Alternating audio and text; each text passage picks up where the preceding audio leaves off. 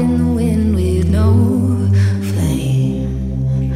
Looking for a lighter, burning cigarettes in your name.